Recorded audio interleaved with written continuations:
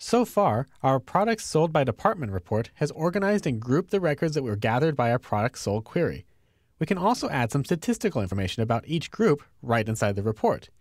This will give you some quick grand total figures that can help in understanding the data and making comparisons across departments.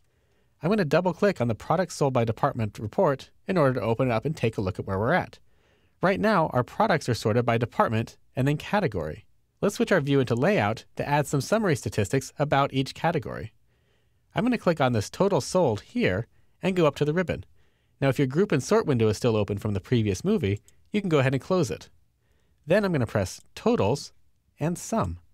That'll add a new row down here that will sum up the total dollar value within this category.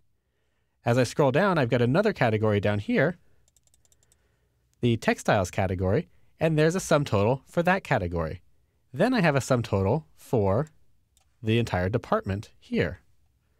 Now these might be a little bit small, so we can go ahead and adjust their size by dragging them open a little bit more.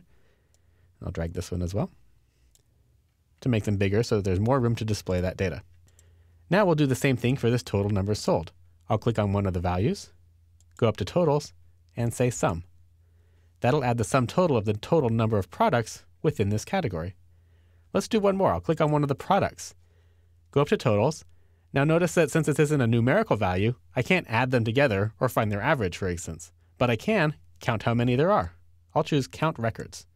That'll add a count of how many records we have within this category. Now at any time, we can go back to group and sort and rearrange our departments and categories.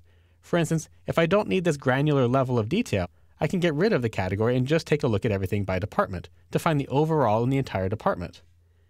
Let's go ahead and click on category. I'll press the close button over here to get rid of the category group. Access will tell me that we're about to delete some calculated fields, but that's okay. Go ahead and say yes. Now our report is just sorting by the department, and I can see within this bath department that our bamboo shower curtain is by far our most profitable product. Let's make one more change here, and then we'll take a look at what this report is looking like in Print Preview. I'm going to turn off our group and sort now, and I'm going to get rid of all these boxes again. I'll select in this box right up here, and if you don't see it, go ahead and just select one of the fields, and that should show up. Click on that box to select all of the cells within that report.